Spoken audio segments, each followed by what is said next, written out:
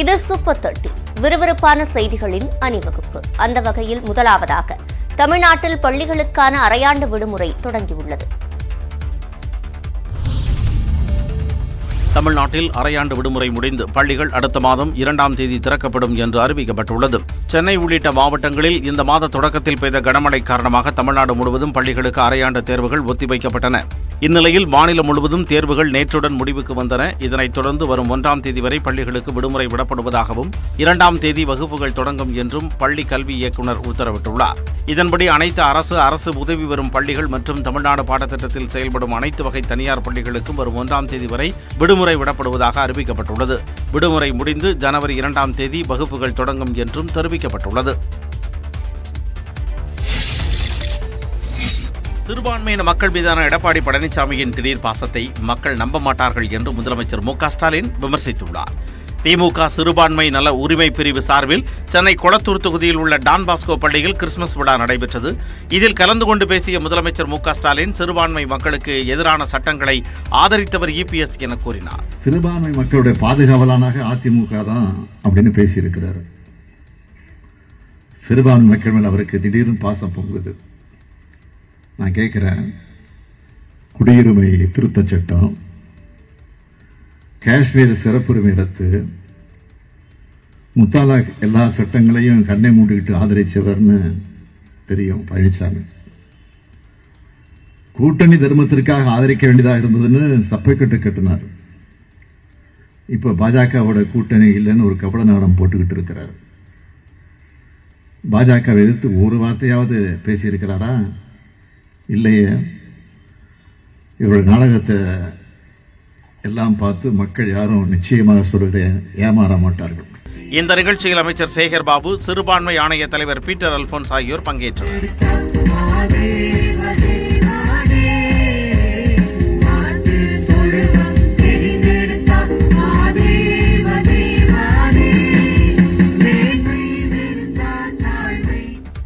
தமிழ்நாட்டிற்கு வெள்ள நிவாரண நிதியாக தொள்ளாயிரம் கோடி ரூபாய் வழங்கப்பட்டுள்ளதாக மத்திய நிதி அமைச்சர் தெரிவித்துள்ளார்.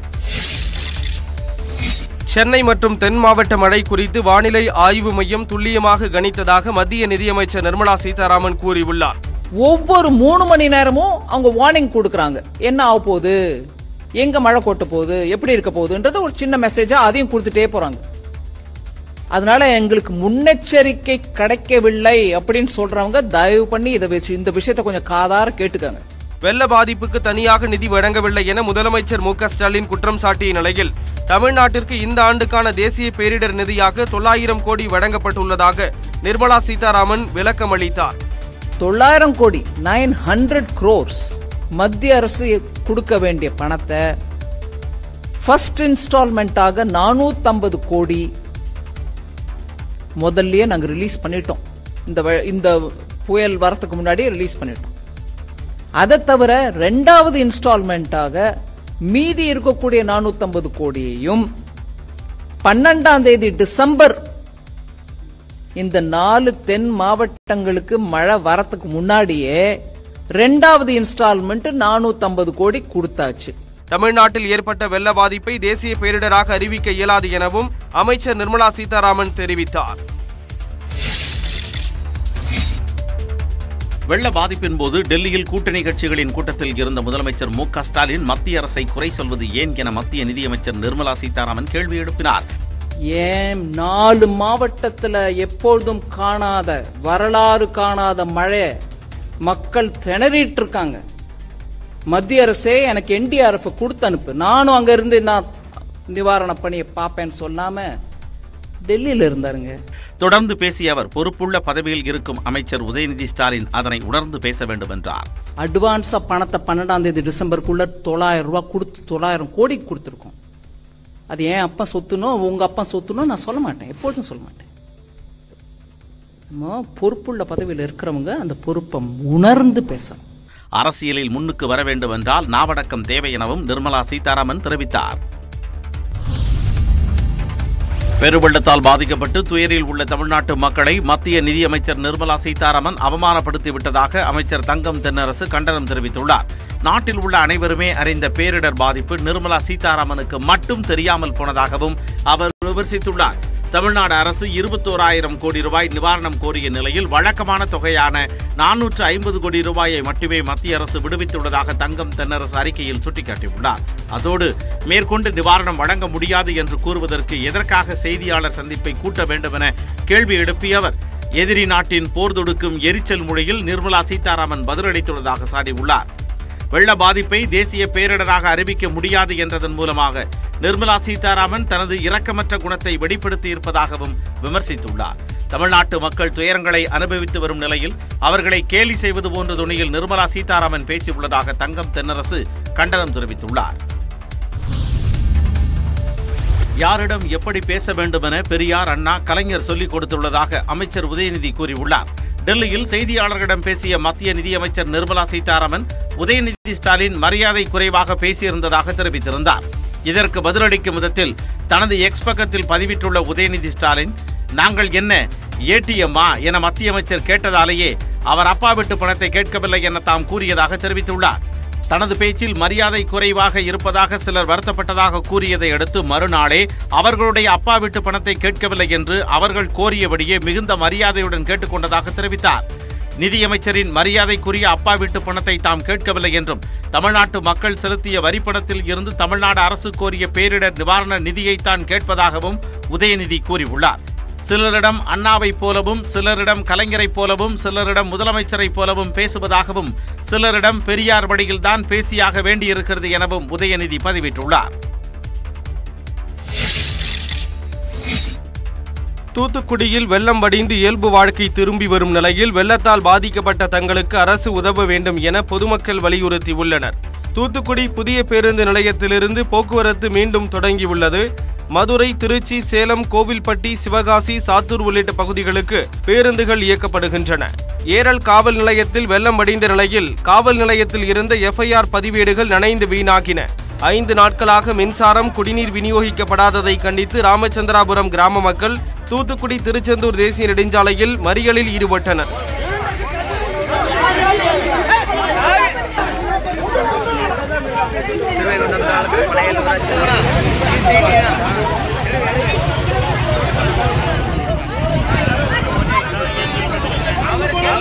தூத்துக்குடியில் இறந்தவர்களின் உடல்களை தகனம் செய்யும் பகுதியில் வெள்ள நீர் சூழ்ந்துள்ளதால் நடமாடும் எரிவாயு மேடை கோவையிலிருந்து கொண்டுவரப்பட்டு உடல்கள் எரியூட்டப்பட்டன.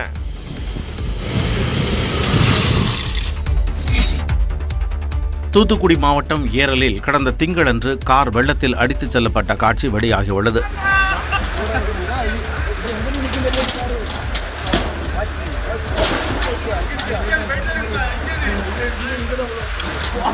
தாமிரபரணி ஆற்றை ஒட்டியுள்ள ஏரலில் பெருமழையின் போது ஏற்பட்ட வெள்ளத்தால் பெருத்த சேதம் ஏற்பட்டது. பஜார் பகுதியில் நிறுத்தப்பட்டிருந்த வாகனங்களை வெள்ளம் சூழ்ந்தது. அப்போது வேன் உரிமையாளர் ஒருவர் தனது வாகனத்தை பொக்லைன் மூலம் வேறு பகுதிக்கு எடுத்துச் செல்ல முயற்சி செய்தார்.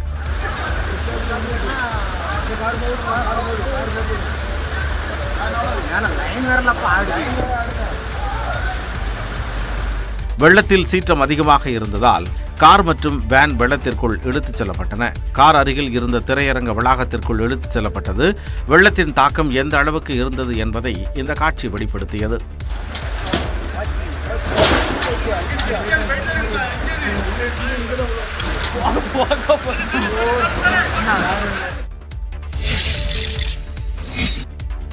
தூத்துக்குடி திருநெல்வேலியில் வெள்ளத்தால் பாதிக்கப்பட்ட மக்களை அமைச்சர்கள் உதயநிதி மா. சுப்பிரமணியன் சிவசங்கர் உள்ளிட்டோர் நேரில் சந்தித்து ஆறுதல் கூறினர். ஸ்ரீவைகுண்டம் மற்றும் ஏரல் வட்டத்திற்கு உட்பட்ட பெருங்குளத்தில் வெள்ளத்தால் பாதிக்கப்பட்ட மக்களுக்கு தேவையான அரிசி மளிகை பொருட்கள் அடங்கிய நிவாரண தொகுப்புகளை விளையாட்டுத்துறை அமைச்சர் உதயநிதி ஸ்டாலின் வழங்கினார். ஓரிரு நாட்களில் நிலைமையை சரி செய்ய நடவடிக்கைகள் மேற்கொள்ளப்பட்டுள்ளதாக அவர் தனது எக்ஸ் பக்கத்தில் பதிவிட்டுள்ளார். வெள்ளத்தால் சூடப்பட்ட தூத்துக்குடி அரசு மருத்துவமனையில் ஆய்வு மேற்கொண்ட மருத்துவத்துறை அமைச்சர் மா. சுப்பிரமணியன் தூத்துக்குடி நெல்லை கன்னியாகுமரி தென்காசி மாவட்டங்களில் நடமாடும் மருத்துவக் குழுக்கள் அமைக்கப்பட்டுள்ளதாக கூறினார். மதுரை கன்னியாகுமரி போன்ற மருத்துவக் கல்லூரி மருத்துவமனைகளில் இருந்து ஏராளமான மருத்துவர்களை நம்முடைய டிஎம்இ அவர்கள் இங்கே தூத்துக்குடி மாவட்டத்திற்கு வரவழைத்திருக்கிறார்கள். அவர்களும் வந்து மருத்துவ சேவை ஆற்றிக் கொண்டிருக்கிறார்கள். திருநெல்வேலியில் மழையால் பாதிக்கப்பட்ட பணிமனையை பார்வையிட்ட போக்குவரத்து துறை அமைச்சர் சிவசங்கர் பாதிப்புகளை சரி செய்வதற்கு தேவையான முயற்சிகள் மேற்கொள்ளப்படும் என்று உறுதியளித்தார். தூத்துக்குடி திருநெல்வேலி மாவட்டங்களில் மழை வெள்ளத்தால் பாதிக்கப்பட்ட மக்களுக்கு நடிகர் ரஜினிகாந்த் அறக்கட்டளை சார்பாக நிவாரணப் பொருட்கள் வழங்கப்பட்டன. சமீபத்தில் பெய்த கனமழை காரணமாக தென் மாவட்டங்கள் பெரிய அளவில் பாதிக்கப்பட்டன. குறிப்பாக தூத்துக்குடி திருநெல்வேலி மாவட்டத்தில் கடும் வெள்ளப்பெருக்கு ஏற்பட்டு மக்கள் துயரில் மூழ்கினர். அதன் தொடர்ச்சியாக ரஜினி ரசிகர் நற்பணி மன்றத்தின் சார்பில் பாதிக்கப்பட்ட மக்களுக்கு உணவு விநியோகம் செய்யப்பட்டது. இந்த நிலையில் தனது அறக்கட்டளை மூலமாக தூத்துக்குடி திருநெல்வேலி மக்களுக்கு நடிகர் ரஜினிகாந்த் நிவாரணப் பொருட்களை அனுப்பி வைத்துள்ளார்.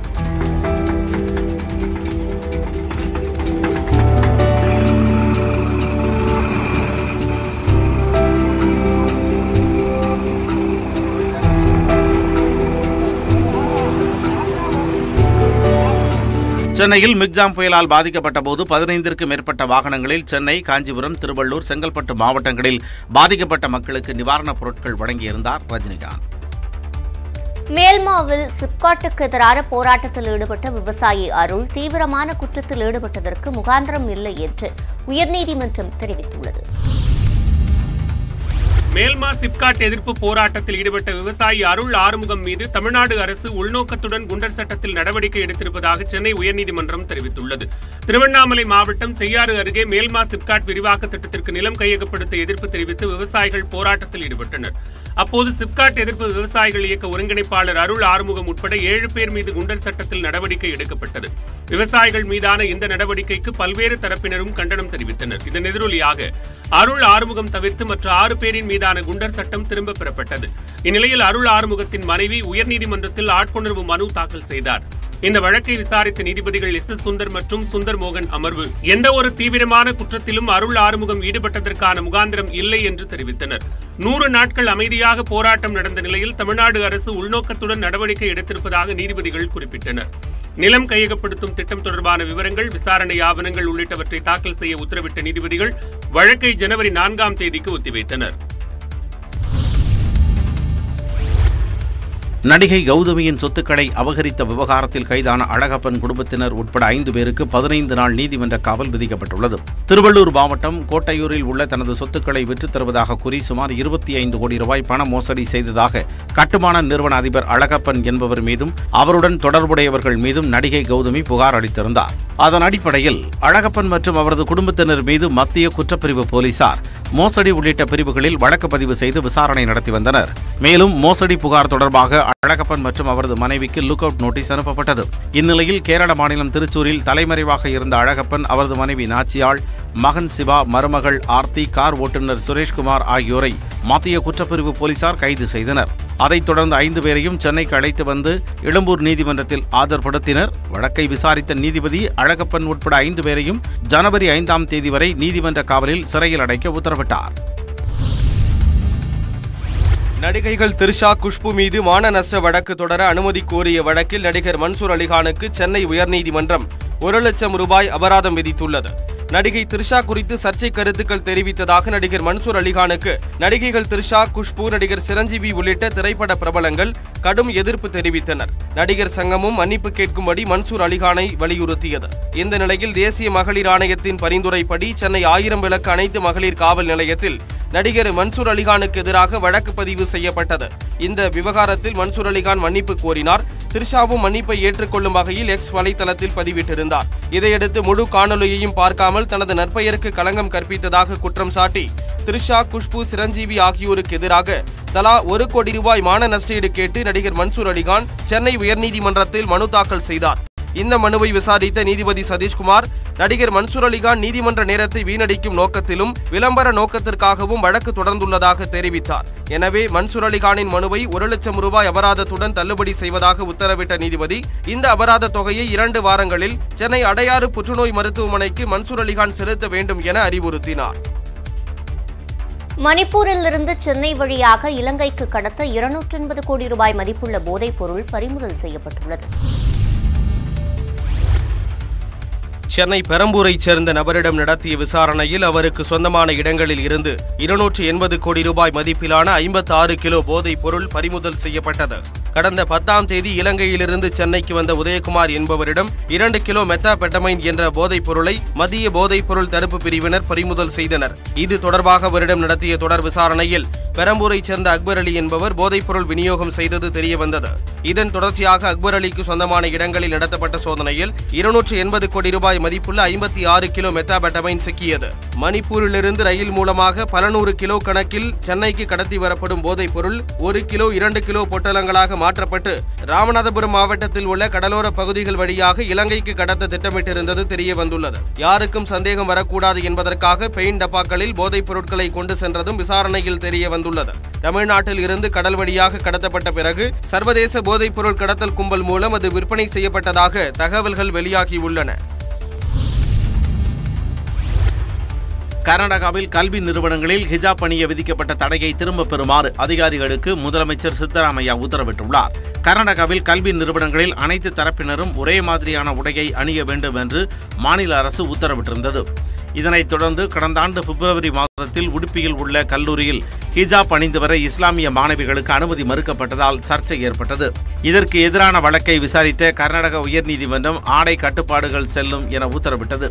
இதனை எதிர்த்து தாக்கல் செய்யப்பட்ட மனுக்களை விசாரித்த உச்சநீதிமன்ற நீதிபதிகள் இரண்டு பேரும் மாறுபட்ட தீர்ப்புகளை அளித்தனர். அதாவது உயர்நீதிமன்ற தீர்ப்பு செல்லும் என ஒரு நீதிபதியும் செல்லாது என ஒரு நீதிபதியும் தீர்ப்பளித்தனர்.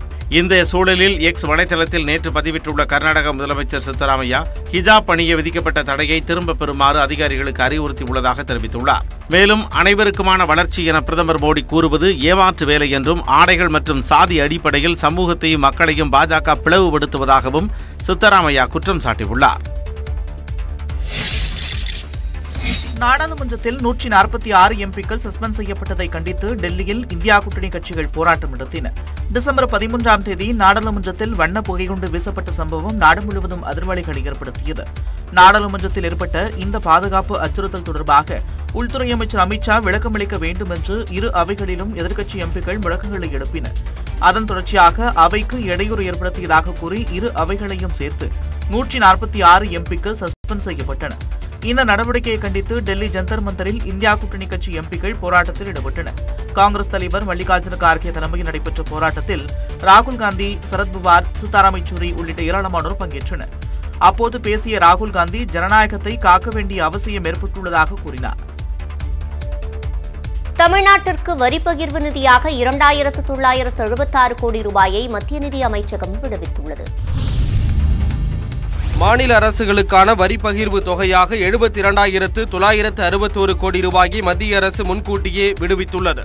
இதில் தமிழ்நாட்டிற்கு இரண்டாயிரத்து தொள்ளாயிரத்து எழுபத்தாறு கோடி ரூபாய் வழங்கப்பட்டுள்ளது. இது தொடர்பாக மத்திய நிதியமைச்சகம் வெளியிட்டுள்ள அறிவிப்பில் மாநில அரசுகளுக்கு மத்திய அரசு வழங்கும் வரி பகிர்வின் கூடுதல் தவணைத் தொகை எழுபத்தி இரண்டாயிரத்து தொள்ளாயிரத்து அறுபத்தோரு கோடியை ஒரு மாதம் முன்பாக அதாவது டிசம்பர் பதினோராம் தேதியை விடுவித்ததாக கூறப்பட்டுள்ளது. அதிகபட்சமாக உத்தரப்பிரதேசத்துக்கு பதிமூன்றாயிரத்து எண்பத்தெட்டு கோடி ரூபாயும் பீகாருக்கு ஏழாயிரத்து முன்னூற்று முப்பத்தெட்டு கோடி ரூபாயும் மத்திய பிரதேசத்துக்கு ஐந்தாயிரத்து எழுநூற்று இருபத்தேழு கோடி ரூபாயும் அளிக்கப்பட்டுள்ளது. இதேபோல் மேற்கு வங்கத்துக்கு ஐந்தாயிரத்து நானூற்று எண்பத்தெட்டு கோடி ரூபாயும் மகாராஷ்டிராவுக்கு நான்காயிரத்து அறுநூற்று ஒன்பது கோடியும் ராஜஸ்தானுக்கு நான்காயிரத்து முன்னூற்று தொன்னூற்று ஆறு கோடி ரூபாயும் தமிழ்நாட்டிற்கு இரண்டாயிரத்து தொள்ளாயிரத்து எழுபத்தாறு கோடியும் விடுவிக்கப்பட்டுள்ளது. குறைந்தபட்சமாக சிக்கிம் மாநிலத்திற்கு இருநூற்றி எண்பத்து மூன்று கோடி ரூபாய் வழங்கப்பட்டுள்ளது. கிறிஸ்துமஸ் புத்தாண்டு பொங்கல் ஆகியவை வரவுள்ளதால் மாநில அரசுகளின் நிதி ஆதாரத்தை வலுப்படுத்தும் நோக்கில் இந்த நடவடிக்கை எடுக்கப்பட்டுள்ளதாக மத்திய அரசு தெரிவித்துள்ளது. டெல்லியில் அடுத்த ஆண்டு நடைபெறும் குடியரசு தின விழாவில் சிறப்பு விருந்தினராக பிரான்ஸ் அதிபர் இமானுவேல் மேக்ரான் கலந்து கொள்கிறார். ஒவ்வொரு ஆண்டும் ஜனவரி இருபத்தி ஆறாம் தேதி நடைபெறும் குடியரசு தின விழாவில் வெளிநாடுகளைச் சேர்ந்த தலைவர்கள் சிறப்பு விருந்தினர்களாக கலந்து கொள்வார்கள். அதன்படி அடுத்த ஆண்டுக்கான விழாவில் அமெரிக்க அதிபர் ஜோ பைடன் கலந்து கொள்வார் என்று எதிர்பார்க்கப்பட்டது. ஆனால் அவரது பயணம் ஒத்திவைக்கப்பட்டது. இந்நிலையில் பிரான்ஸ் அதிபர் இமானுவேல் மேக்ரானுக்கு பிரதமர் நரேந்திர மோடி அழைப்பு விடுத்தார். இதனை ஏற்றுக்கொள்வதாகவும் கொண்டாட்டங்களில் கலந்து கொள்வதாகவும் எக்ஸ் தளத்தில் மேக்ரான் அறிவித்துள்ளார். இதுகுறித்து வெளியுறவு அமைச்சகம் வெளியிட்டுள்ள செய்திக்குறிப்பில் பிராந்திய மற்றும் சர்வதேச விவகாரங்களில் இந்தியாவும் பிரான்சும் உயர்மட்ட அளவில் இணைந்து செயல்பட்டு வருவதாக தெரிவிக்கப்பட்டுள்ளது.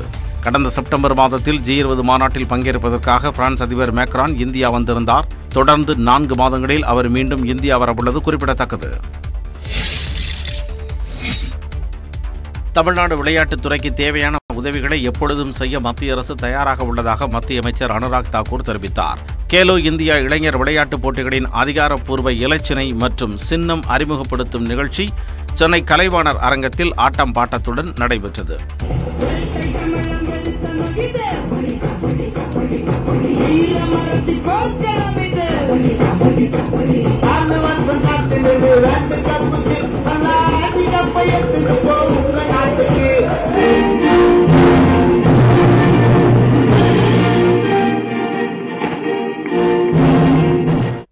கேலோ இந்தியா சின்னத்தில் தமிழ்நாடு பாரம்பரியத்தை குறிக்கும் வகையில் திருவள்ளுவர் சிலை இடம்பெற்றுள்ளது.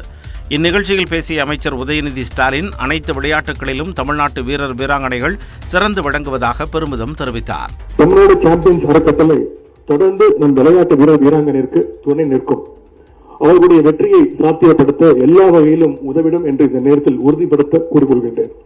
மத்திய விளையாட்டுத்துறை அமைச்சர் அனுராக் தாக்கூர் பேசுகையில் கிரிக்கெட் வீரர்கள் மட்டுமே ரோல் மாடலாக இருந்த காலம் போய் மற்ற விளையாட்டு வீரர்களும் ரோல் மாடல்களாக மாறியிருப்பதாக கூறினார் We have all the requirements to qualify to host the 2036 Olympics. Let us wait for the right time. Khelo India போட்டிகள் ஜனவரி பத்தொன்பதாம் தேதி முதல் முப்பத்து ஒன்றாம் தேதி வரை சென்னை திருச்சி மதுரை கோவை நகரங்களில் நடைபெறவுள்ளது இந்திய மல்யுத்த கூட்டமைப்பின் தலைவராக சஞ்சய் சிங் தேர்வு செய்யப்பட்டதை கண்டித்து தனக்கு வழங்கப்பட்ட பத்மஸ்ரீ விருதை டெல்லியில் பிரதமர் இல்லம் அருகே உள்ள கர்தாவியா பாதையில் மல்யுத்த வீரர் பஜ்ரங் புனியா வைத்துவிட்டு சென்றார்.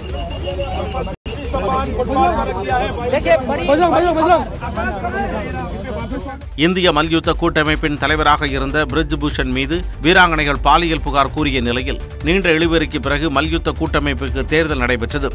இதில் புதிய தலைவராக பிரிஜ் பூஷன் சிங்கின் ஆதரவாளரான சஞ்சய் சிங் தேர்வு செய்யப்பட்டார். இதனைத் தொடர்ந்து மல்யுத்த போட்டிகளில் இருந்து விலகுவதாக ஒலிம்பிக்கில் பதக்கம் வென்ற வீராங்கனையான சாக்ஷி மாலிக் அறிவித்தார். இந்நிலையில் தனக்கு வழங்கப்பட்ட பத்மஸ்ரீ விருதை பிரதமர் மோடியிடம் திரும்பி வழங்கப் போவதாக மல்யுத்த வீரர் பஜ்ரங் புனியா எக்ஸ் பக்கத்தில் பதிவிட்டிருந்தார். பிரதமர் இல்லத்தை நோக்கி சென்றபோது அவரை பிரதமர் இல்லம் அருகே உள்ள கர்தாவியா பாதையில் காவல்துறையினர் தடுத்து நிறுத்தினர். இதையடுத்து அங்கேயே பத்மஸ்ரீ விருதை வைத்துவிட்டு பஜ்ரங் புனியா திரும்பினார். இந்த விருதை பிரதமரிடம் வழங்கிவிடுமாறு அங்கிருந்த காவலர்களிடம் தெரிவித்ததாக பஜ்ரங் புனியா கூறினார். இனிமேல் போராட்டம் நடத்தப் போவதில்லை என்றும் நீதிமன்றத்தில் போராடுவோம் என்றும் அவர் கூறினார். இந்த நிலையில் காங்கிரஸ் பொதுச் செயலாளர் பிரியங்கா காந்தியை சாக்சி மாலிக்கும் பஜ்ரங் புனியாவும் சந்தித்து பேசினர். அப்போது இந்த கொடுமைகளை நாட்டில் உள்ள பெண்கள் பார்த்து கொண்டிருப்பதாக பிரியங்கா காந்தி கூறினார். மாற்றுத்திறனாளிக்கான அடையாள அட்டை இருந்தும் தனக்கு அரசு பேருந்தில் கட்டண சலுகை தர மறுத்துவிட்டதாக இந்திய மாற்றுத்திறனாளிகளுக்கான கிரிக்கெட் அணியின் கேப்டன் சச்சின் சிவா குற்றம் சாட்டியுள்ளார் இந்திய மாற்றுத்திறனாளிகளுக்கான கிரிக்கெட் அணி கேப்டனாக இருப்பவர் சச்சின் சிவா. இவர் தனது சொந்த ஊரான மதுரையில் இருந்து ஈரோட்டிற்கு அரசு பேருந்தில் வந்தபோது மாற்றுத்திறனாளிகளுக்கான தேசிய அடையாள அட்டை மூலம் எழுபத்தி ஐந்து சதவீத கட்டண சலுகையை நடத்துனரிடம் கேட்டுள்ளார். இதுகுறித்து நடத்துனர் தன்ராஜ் தனது உயர் அதிகாரிகளிடம் தொலைபேசியில் கட்டண சலுகை குறித்து விசாரித்தபோது மாற்றுத்திறனாளிகளுக்கான தேசிய அடையாள அட்டைக்கு கட்டண சலுகை இல்லை என்றும் முழு டிக்கெட்டுக்கான கட்டணத்தை வசூலிக்குமாறும் அறிவுறுத்தியதாக தெரிகிறது. இதனையடுத்து நடத்துனர் தன்ராஜ் மாற்றுத்திறனாளியான சச்சின் சிவாவிடம் முழு பயணத் தொகையான நூற்று அறுபத்தி ஐந்து ரூபாயையும் பெற்று அதற்கான பயணச்சீட்டையும் கொடுத்துள்ளார். இதனால் வேறு வழியின்றி சச்சின் சிவா முழு கட்டணத்தையும் செலுத்தி பயணம் மேற்கொண்டுள்ளார். இந்த கார்டு எனக்கு அரசு ஏன் கொடுத்தாங்கன்னு தெரியல.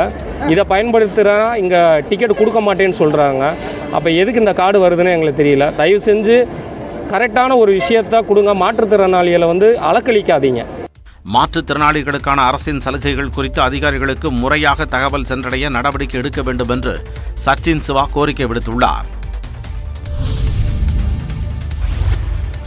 கலாஷேத்ரா கல்லூரி உதவி பேராசிரியருக்கு எதிரான பாலியல் புகார் குறித்து விசாரித்து முகாந்திரம் இருந்தால் வழக்கு பதிவு செய்யும்படி காவல்துறைக்கு உயர்நீதிமன்றம் ஆதரடி உத்தரவிட்டுள்ளது. சென்னை திருவான்மையூரில் உள்ள கலாஷேத்ரா அறக்கட்டளைக்கு சொந்தமான கல்லூரியில் பாலியல் தொல்லைக்கு ஆளானதாக முன்னாள் மாணவி புகார் அளித்திருந்தார். அதன் அடிப்படையில் நடனத்துறை உதவி பேராசிரியர் ஹரிபத்மன் கைதாகி ஜாமீன் பெற்றார்.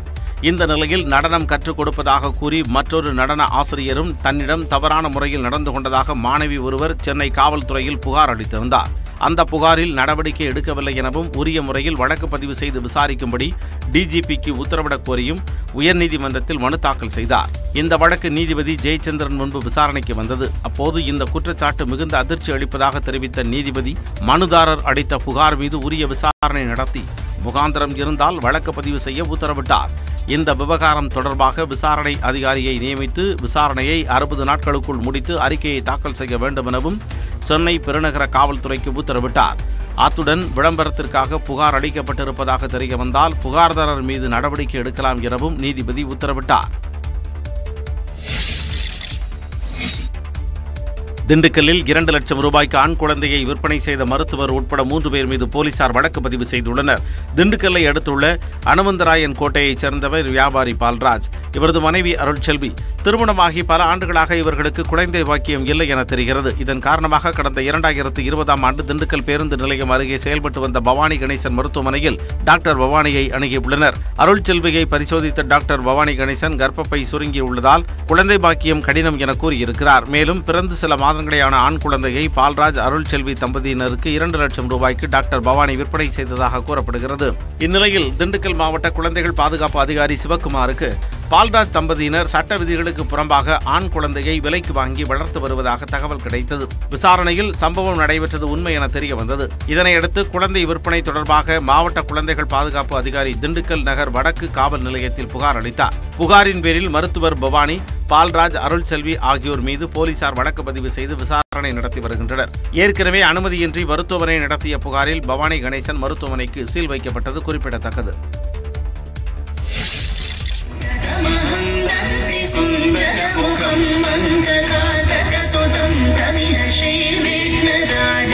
செங்கல்பட்டு மாவட்டம் மாமல்லபுரத்தில் இந்த ஆண்டுக்கான இந்திய நாட்டிய விழா கோலாகலமாக தொடங்கியது. சுற்றுலாவுக்கு பெயர் பெற்ற மாமல்லபுரத்திற்கு நாள்தோறும் பல ஆயிரக்கணக்கான உள்நாட்டு மற்றும் வெளிநாட்டு சுற்றுலா பயணிகள் வருகை தருகின்றனர். சுற்றுலா பயணிகளை கவரும் வகையில் ஒவ்வொரு ஆண்டும் டிசம்பர் மாத இறுதியில் தமிழ்நாடு அரசின் சுற்றுலாத்துறை சார்பில் இந்திய நாட்டிய விழா நடத்தப்படுகிறது. இந்த ஆண்டுக்கான விழா கடற்கரை கோவில் வளாகம் அருகே நேற்று கோலாகலமாக தொடங்கியது.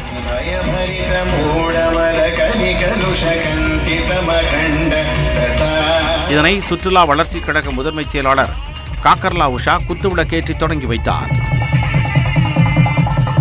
இந்த விழாவில் பெங்களூரு கலம் கலாச்சார அறக்கட்டளை சார்பில் பரதநாட்டியம் மதுரை கோவிந்தராஜ் கலை மேம்பாட்டுக் குழுவினரின் நாட்டுப்புற கலை நிகழ்ச்சி ஆகியவை நடைபெற்றன.